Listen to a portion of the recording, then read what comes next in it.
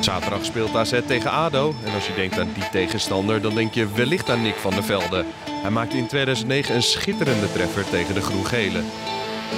En dan is AZ weg. El Amdoui. Heeft hij oog voor de medespelers? Ja, dat heeft hij. Wordt het 4-1. Ja, dat wordt het prachtig gedaan van der Velde.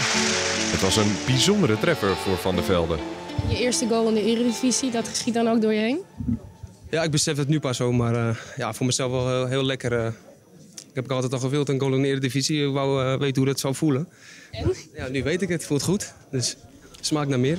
En dat meer kwam er, maar hij moest er wel even op wachten. Ruim twee jaar later scoorde Van der Velde zijn volgende goal. En weer was ADO Den Haag de tegenstander.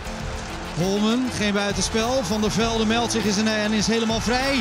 Van der Velde moet het beslissen en doet het. 3-1 voor AZ.